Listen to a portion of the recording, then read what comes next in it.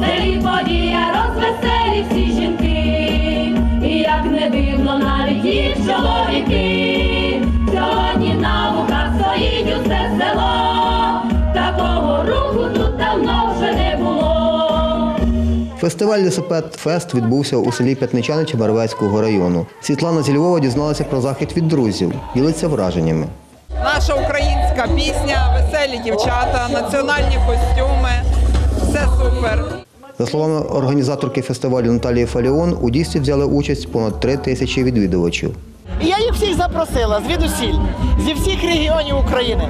Це Харківщина, Херсонщина, е, Полтавщина, Чернігівщина, Черкащина, Сумщина, Чернівеччина, Франківщина, е, Вінниччина, Хмельниччина.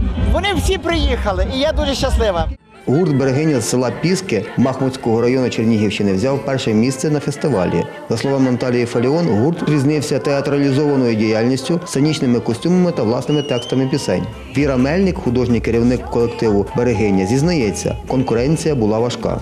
Дуже нас прийняли дуже гарно. Наші хазяїни, де ми остановилися, де ми ночували. Дуже гостеприємні люди. Фестиваль!